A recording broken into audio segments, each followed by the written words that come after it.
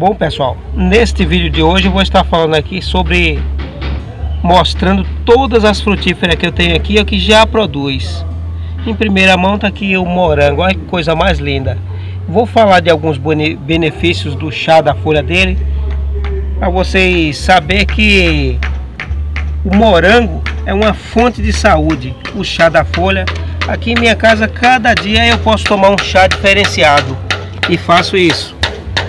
Estar, vou estar sempre tomando assim um chá diferenciado, porque aqui tem folhas de diversos tipos de frutífera que os seus benefícios são excelentes. Isso aqui mesmo, previne até o AVC. Os compostos fenólicos encontrados no chá da folha do morango, ele previne acidente cardiovascular ou vascular cerebral como o AVC. Então a pessoa que quer prevenir, chá de folha de morango, os talinhos da folha.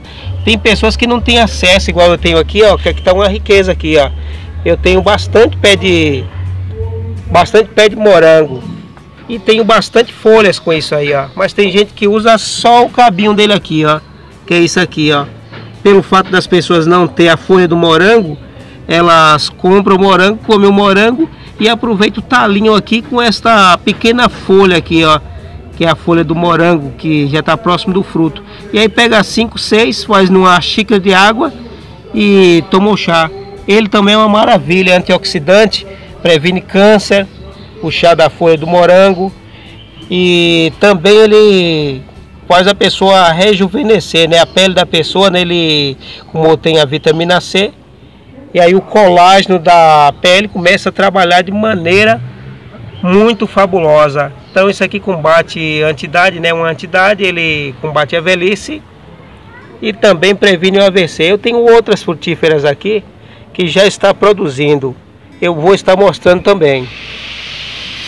É, tá um barulho terrível aqui, eu vou dar uma pausa, já volto. Pois sim, os compostos fenólicos encontrados na folha do morango, né, no chá da folha de morango, este nutriente é essencial para que a para combater o AVC, como eu estou falando. Então ele combate, né, previne o AVC, porque a melhor coisa é trabalhar com a prevenção. Então quando você usufrui dos benefícios de qualquer planta, chá de qualquer planta, com, logicamente com grandes informações, a internet tem tudo quanto é tipo de informações. Eu aqui estou passando só uma delas. Aqui eu já tenho um vídeo que fala detalhadamente sobre os benefícios do chá da folha do morango. Então vocês vão procurar aqui o vídeo, né, o benefício do chá da folha de morango, José Rocha, vocês vão encontrar detalhadamente. Mas aqui eu estou mostrando mais é as frutas, né, que já está produzindo aqui, ó, tem bastante aqui, ó. Todos os pés têm flores e frutas. Fora o que eu já tirei, tá um barulho terrível. Vocês não levam em conta não, vão desculpando aí, ó. É que aqui é em cima da minha laje que eu planto, todo barulho aparece. Outra coisa, combate inchaço também. O chá da folha do morango é diurético. E como causa diurese, então os inchaços vai sumindo do seu corpo. Está aqui, ó, esse aqui está lotado também, ó. Tá cheinho de frutos aqui, ó. Vocês podem ver. Eu vou mostrar também a mora aqui, ó. Já já eu vou lá no pé de mora, ó. Tá lotado aqui de frutos. Ó. Tudo isso aqui é pequenos frutos que logo logo vão estar a ponto de colher. Eu aqui vou estar mostrando como plantar. Eu tenho vídeos aqui que fala sobre esse quando eu plantei ele nessa vasilha, que ele não tinha flores nem tinha fruto. Então está aqui, ó. Agora eu vou mostrar aqui, ó. Também a mora, tá lotada aqui, ó. Para quem lembra que eu mostrei que estava toda doente aqui, cheia de fungos, branco, tava chega tava igual leite o, o caule dela aqui, ó que eu ensinei como prevenir. Aqui está, olha o caule como está limpinho aqui, ó. O caule aqui, ó, está totalmente limpinho aqui o caule dela. Lembra que até nessa vara de bambu aqui que sustenta essa varinha tutora aqui, ó, eu passei, tomei o gel de babosa para não dar mais aqueles pulgões, aqueles fungos. E está aqui, ó, lotado. Vou mostrar com bastante calma aqui para vocês terem noção de como está isso aqui hoje, depois que eu combati as pragas que estavam nele, né? As pragas acabaram e aqui está ela todo vapor, coisa mais linda.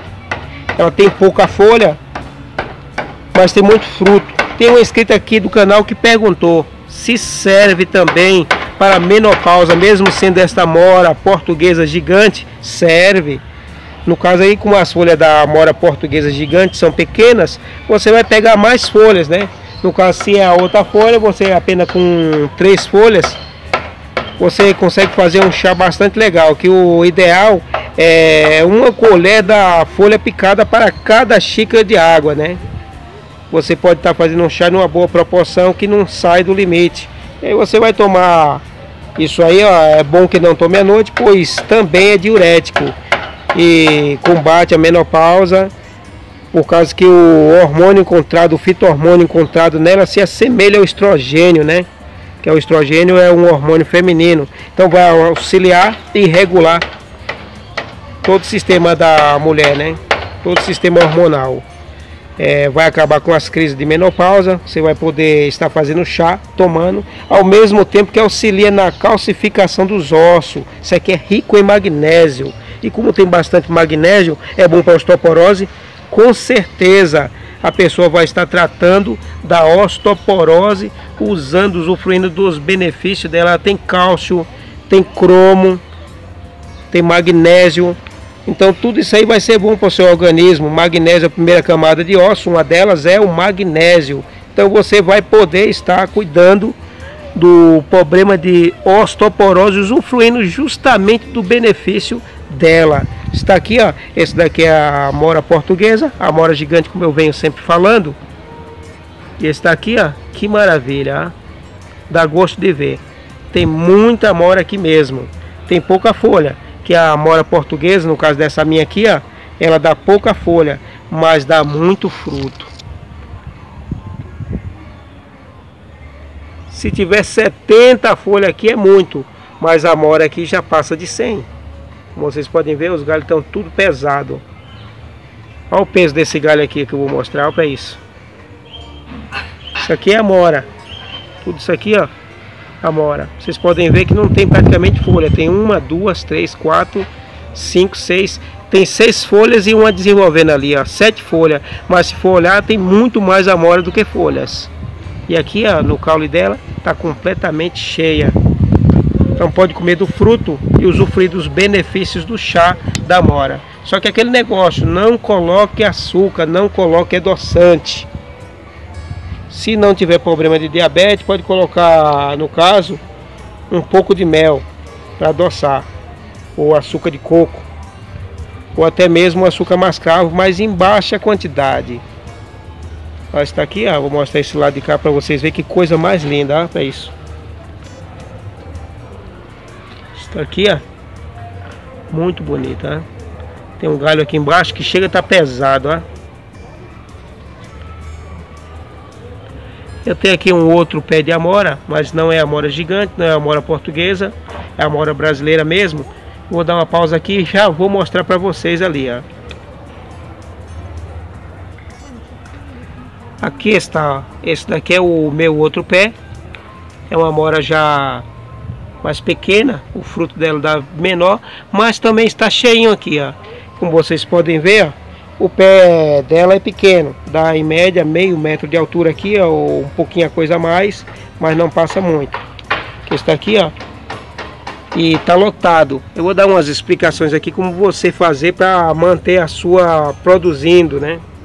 Você pega a babosa, tritura no liquidificador, esbagaça dentro, de, dentro da água se for para combater pulgões e algum tipo de problema que tiver, você passa bem forte o gel da babosa nos caule, no caule dela aqui. E o que cair na terra vai fortalecer toda frutífera que você tiver. A partir do momento que você coloca babosa, gel de babosa, não importa qual tipo, no caso da planta, se for para consumo humano, importa o tipo.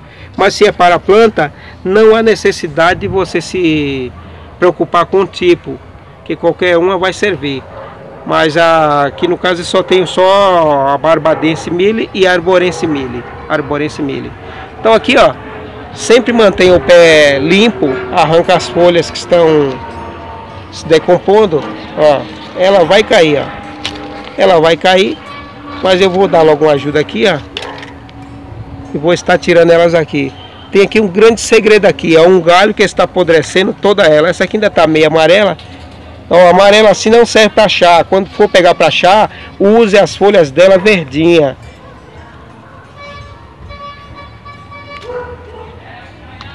Mas o pé tá cheinho aqui, ó. Cheinho de amora,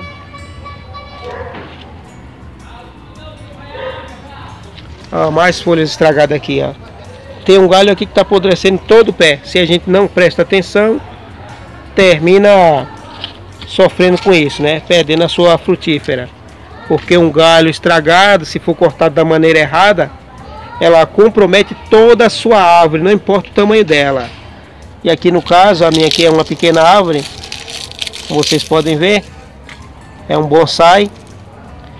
Algumas pessoas vão me perguntar por que, que cada eu procuro cada vez plantar um pé de hortelã da folha grossa em cada pé de planta meu. Olha pessoal, como isso aqui é bactericida, fungicida, as plantas é, não pega pulgão, ela dificilmente pegar uma praga. Pode ver que aqui eu não tenho um pé plantado que eu vou ter que plantar.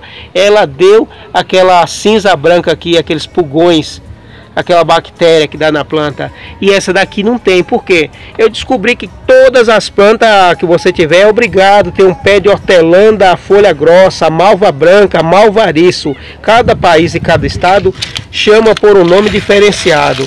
Estas folhas aqui, ó, pode ser colocada na compostagem. É, nunca pegue folha murcha para fazer chá, pois quando ela tá murcha, ela tá soltando as suas toxinas por meio de evaporação, então não serve para chá, se torna tóxico. Ou você espera ela acabar de secar e ficar bem seca, mas murcha não, que murcha, qualquer folha está soltando seus compostos tóxicos por meio de evaporação. Então está aqui, eu vou mostrar aqui um grande perigo. Ó, tá aqui, ó. Eu tirei a ponta desse galho aqui e não prestei atenção. E terminei me passando e olha, secou até aqui e já está aqui embaixo aqui, ó. Então tá todo morto aqui. Daqui a pouco, se eu não tomar cuidado, ele passa para o restante da árvore aqui, ó, desse pequeno bonsai. Então a primeira coisa é pegar e cortar fora, só que corta no toco, bem embaixo aqui, ó. Não deixa espaço para ele passar mortandade para o restante do pé. Senão termina ele passando essa secura para o restante do pé. Então sempre corta na emenda aqui, ó. Porque aqui a própria seiva da planta, a cascazinha, vai procurar cicatrizar, vendo que não sobrou nenhuma parte de árvore morta. Então não deixe. Isso aqui eu me passei. Eu vou mostrar para vocês aqui o galho. Olha que tristeza. Se eu tivesse trocado aqui nessa, cortado nessa bifurcação, aqui teria nascido um galho, mas não, ela veio secando de cima até embaixo, olha que perigo. Aí é onde a gente às vezes pode perder. Então não deixa nem um toco pequenininho que seja. Vai cortar, sempre corta na emenda, pertinho do nó, um nozinho aqui, ó, poderia ser cortado aqui. E ela tinha até um botão, podia ter brotado aqui, mas não brotou por quê? Porque realmente foi cortado no local errado. Olha a ponta que eu cortei aqui, ó cortei desapegado de qualquer emenda. Poderia cortar nessa daqui, ó, que seria bom. Ou igual eu cortei aqui na forquilha, que é onde ela estava presa aqui, ó.